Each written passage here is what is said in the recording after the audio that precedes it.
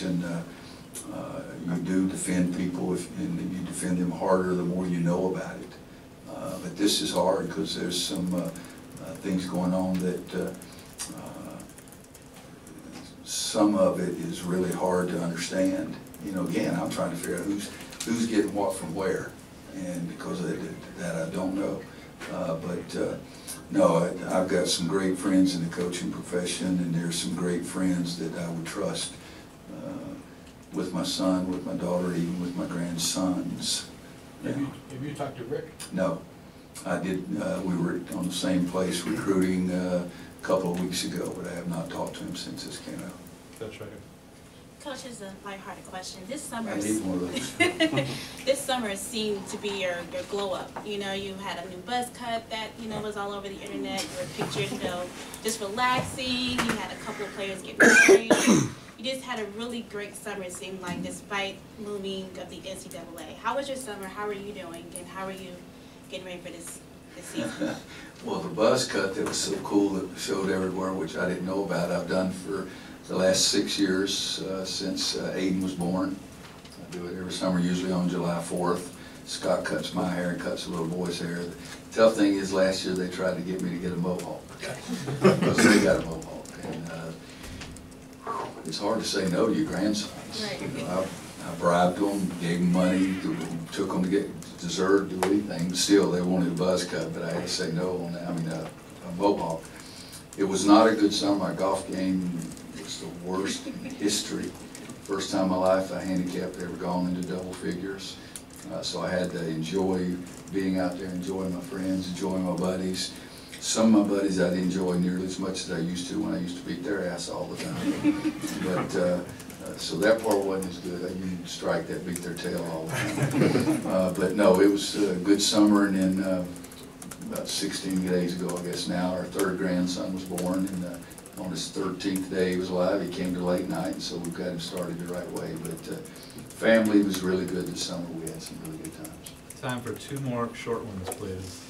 Roy, initial impressions on uh, Felton and what he can bring this year?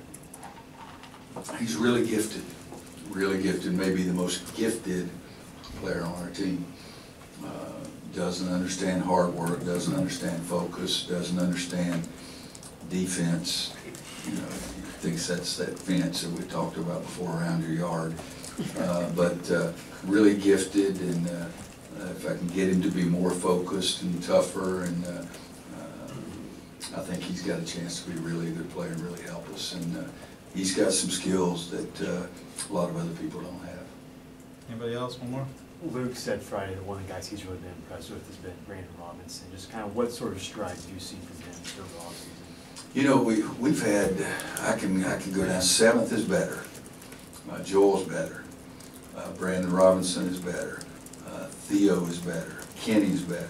Uh, I think every, every returning player we have has really made some significant strides in their game. Uh, Brandon's shooting the ball well, uh, right now he's sort of the leader of that, uh, blue team right now, uh, but he's gonna play and, uh, I think with the blue team, he's pressing a little bit in practice, trying to do so much because it's always competition, which I like because he doesn't like to lose, you know, and so I think he's doing more there than he'll have to do when he goes over to the other team. But he's, uh, he's doing some good things. Can't gain any weight, you know, but he's, he's doing some good things. With the bigs, going back to trying to figure out how you're gonna have the one you want as a clear starter, back-to-back seasons, Kennedy and Brice took some really big strides in their senior seasons. Mhm. Brice, a lot of that for you, I know, was dealing with his attitude. Are- are- Is there anything from either Not of his those? attitude, just work ethic. He's a great kid. Yes, sir, no, sir. You didn't go away and probably cuss me, but he was just.